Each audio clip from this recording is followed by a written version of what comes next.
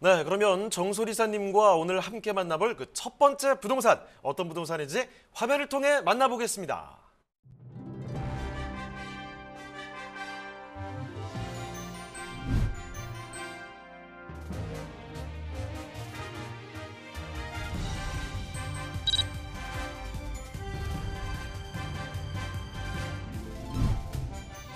정소리사님이 선정해주신 첫 번째 부동산 네트워크. 서울시 영등포구 양평동 육가에 위치한 오피스텔입니다.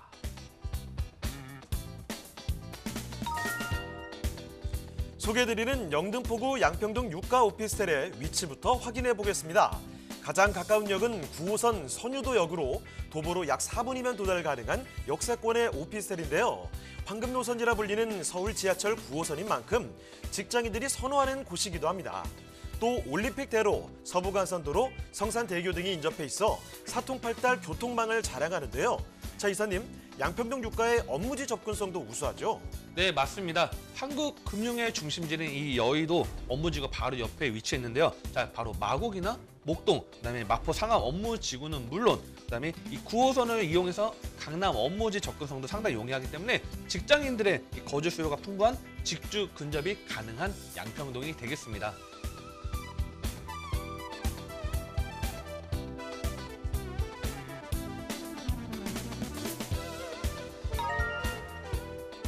또 양평동 육가의 경우 한강과 안양천이 가까이 위치하고 있는데요. 물놀이와 수상 스포츠를 즐길 수 있는 양화 한강공원과 커플들의 데이트 코스로 많은 사람들이 나들이를 나오는 선유도 공원도 가까이 위치하고 있어 도심 속 쾌적한 녹지 환경을 누릴 수 있는 곳입니다.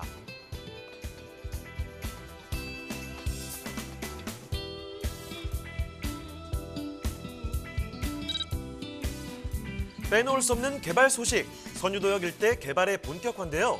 영등포구 양평동 5가 일대 선유도역 주변을 지구 단위 계획 구역으로 지정함에 따라 역세권 중심지로서의 육성 및 체계적 관리를 하고 쾌적한 도시 환경 조성 및 경제 활성화도 기대해 볼 수 있습니다. 여기에 한 가지 더 영등포는 2030 서울 플랜 3대 도심으로 분류돼 도심 재생 사업이 한창 진행되고 있는데요. 영등포 로터리 고가차도 철거를 통해 영등포 일대를 대중교통의 중심지, 탁 트인 도시로 만든다고 합니다. 뛰어난 업무지 접근성과 편리한 교통, 다양한 개발 호재로 풍부한 임대 수요를 지닌 영등포구 양평동 육가의 오피스텔입니다. 네, 영등포구 양평동 육가 여기 뭐 출퇴근하기도 워낙에 좋고요. 한강도 가까운 곳입니다. 자, 입지적인 장점 그리고 앞으로 개발들도 많이 이루어진다고 하는데 어떤 곳인지 자세히 좀 알아보겠습니다. 자, 그럼 이사님 이 오피스텔 어, 개요 정보부터 알아보도록 하죠. 네, 서울시 영등포구 양평동 육가 오피스텔은요, 바로 인기 있는 황금 노선이라 불리는 바로 9호선 선유도역에서 도보 약 4분 거리에 위치해 있습니다. 자, 면적은 전용 면적 19.47 제곱미터로 되어 있고요. 자, 층수는 지하 1층부터 지상 12층으로 되어 있습니다.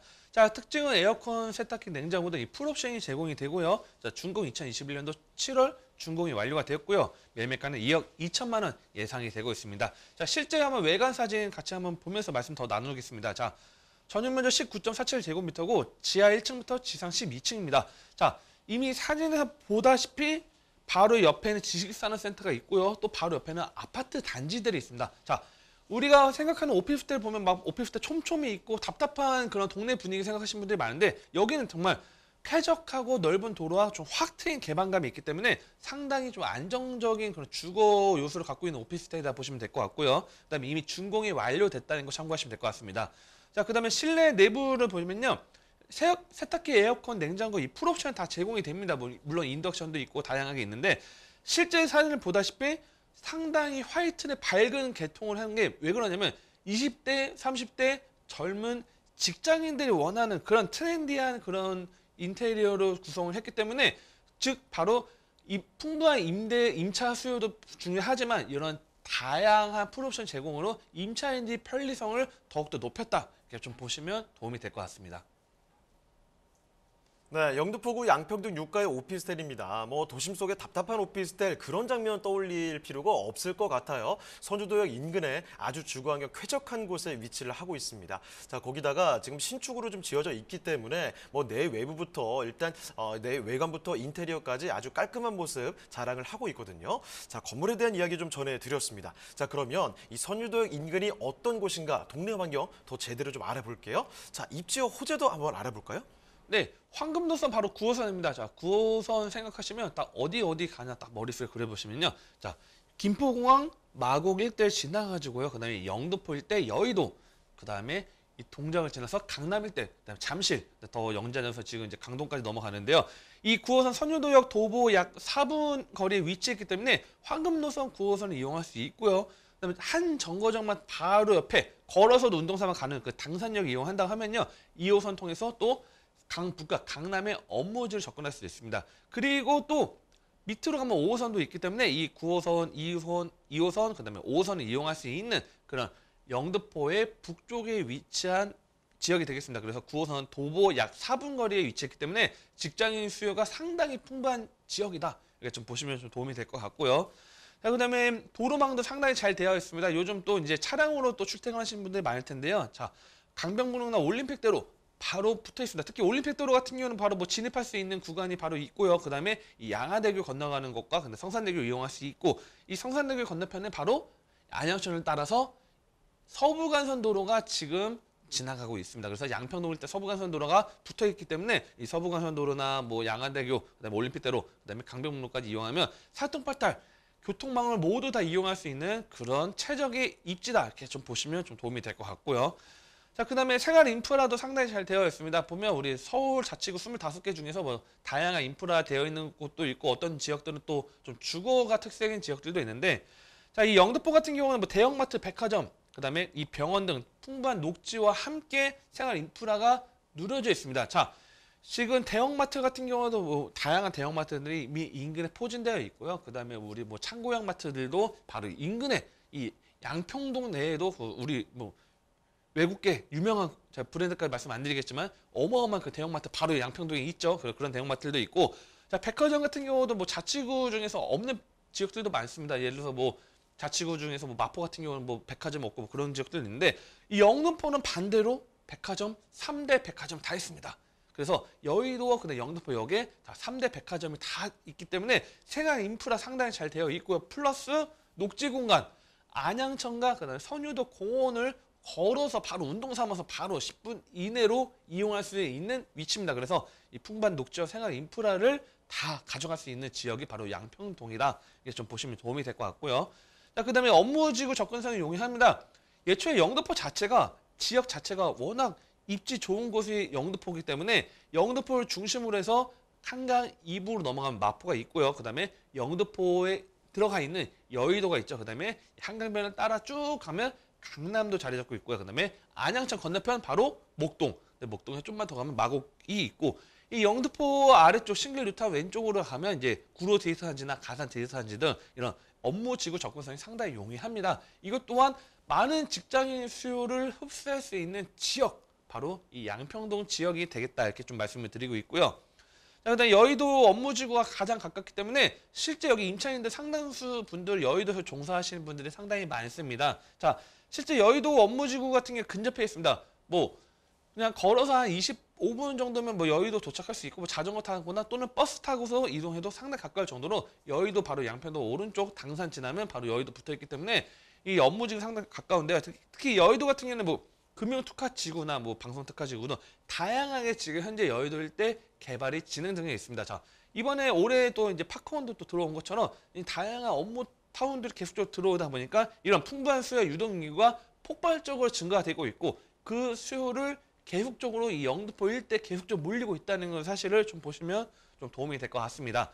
자, 그 다음에 2030 서울 플랜. 자, 바로 이 이제 향후 이제 우리 호재를 좀 보면요. 자, 2030년도 서울 플랜 이제 9년 남았습니다. 자, 영등포가 이제는 도심으로 승격합니다. 과거에 예전 조선시대 보면요. 한양도성 딱 있었죠. 한양도성이 있고 그다음에 일제 강점기 좀그 시절에 경부선이 이제 경부 경부선이 생기면서 이제 철도가 생기면서 영등포가 서울의 제 2의 그런 이제 부도심 역할을 했습니다. 그 다음에 이제 향후에 70년대 이제 영동 개발하면서 이제 영등포 동쪽 바로 강남 개발하면서 이제 3도심 이렇게 형성된다고 이야기를 하는데 바로 이 영등포 여의도 건역 서남 생활권의 핵심 지역이 바로 영등포입니다. 자 외국계 뭐 부동산 뭐 투자나 뭐, 펀, 뭐 리츠나 그런 데서 우리나라 서울 업무지 일대 3대 업무지 중에 하나를 바로 영등포 이야기를 많이 합니다. 자 12대가 불리는 영등포 여의도 지역이 도시문화 습격한다. 바로 위상이 상당히 올라갈 수 있기 때문에 지금 현대 영등포의 가치 위상보다 더욱더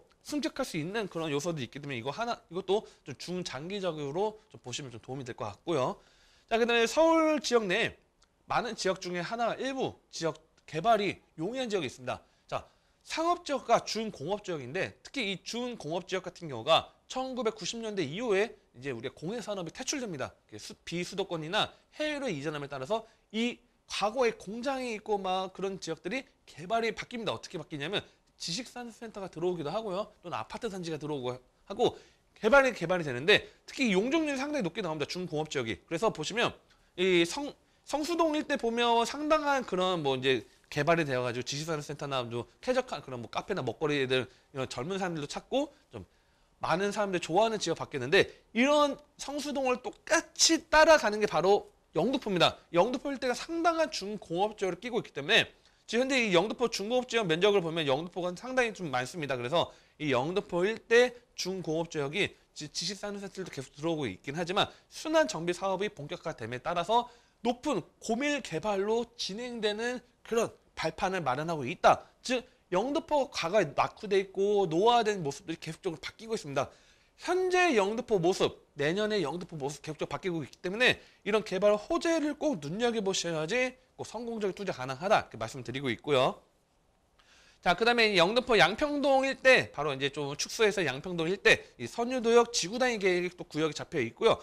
오른쪽 라인에는 당산역 지구단위 계획 구역이 잡혀 있습니다. 그래서 이 지금 일대가 현재 지금 개발이 진행 중에 있고, 현재도 지식산업센터들이 계속 들어옵니다. 자, 지식산업센터 제가 강조하는 이유가 뭐냐면, 지식산업센터 들어오면 기업들이 들어옵니다. 기업들이 들어오면 당연히 일자리가 늘어나겠죠. 일자리 늘어나면 가- 바로, 바로 임차 수요 또는 집을 매, 매수를 해야 되는 그런 매수 심리가 강하게 나타날 수 있기 때문에 현재 지금 가치보다 더욱더 상승할 수 있는 그런 저력 있는 그런 양평동이 되고 있다 이렇게 보시면 도, 도움이 될 것 같고요.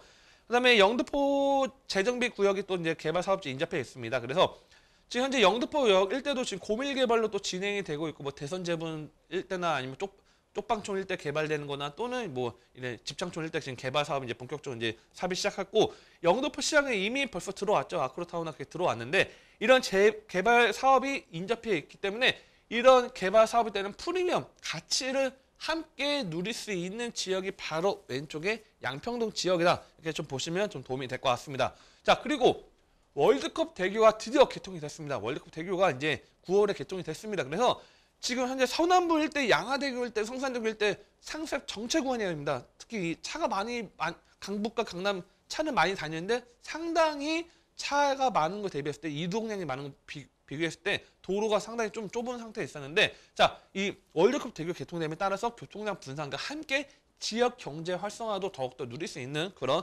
시너지 효과를 낼 수 있는 그런 발판이 또 마련됐다 보시면 될 것 같고요.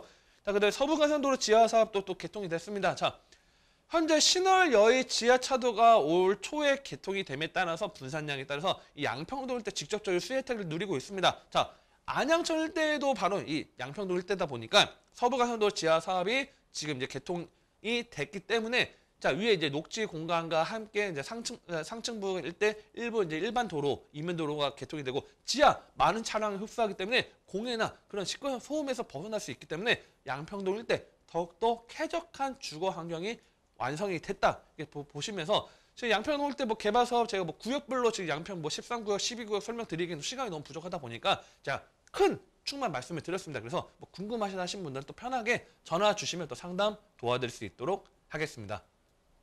네, 그 설명드릴 내용이 참 많습니다. 여기 보시면요, 일단 9호선 황금라인의 초역세권에 위치를 하고 있으니까 어, 주변에 업무 지역으로 출퇴근하기 원활하게 좋습니다. 자, 그리고 집으로 돌아오셨을 때도 주변에 뭐 마트부터 백화점, 병원까지 인프라가 참 잘 돼 있으니까 생활하시기 좋겠죠. 그리고 뭐 슬리퍼 신고 슬슬 걸어가셔도 도달할 수 있는 이 한강과 정말 가까운 곳이라는 점도 참 큰 장점이 아닌가 싶습니다. 자, 그리고요, 여기 지금 주변에 월드컵 대교, 서부간선도로 지하화 이런 대단한 개발 호재들이 일단 지난달에 스타트 버튼을 눌렀습니다. 이런 점도 기억을 해주시고 영등포의 큰 규모의 개발 계획들 그리고 선유도역 당산역 일대에 어, 바로 이 근처에 있는 직접적인 수혜를 볼 수 있는 그런 개발 계획들까지도 체크를 해드렸으니까 참고를 해보시고요.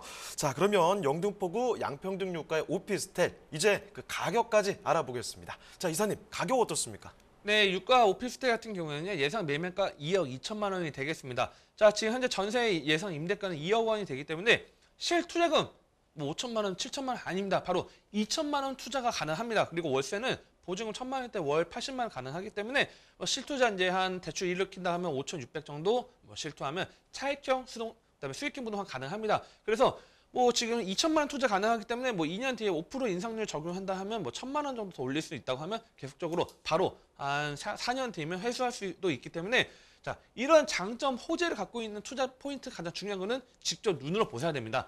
이미 완성이 되어 있고 정말 역과 가까운지 그리고 정말 내부 괜찮은지 건물 튼튼하게 지었는지 보셔야 되기 때문에 궁금하시다 2천만 원 투자 영등포 일대 궁금하시다 하신 분들은 또 전화 주시면 또 일대 상담 도와드릴 수 있도록 하겠습니다.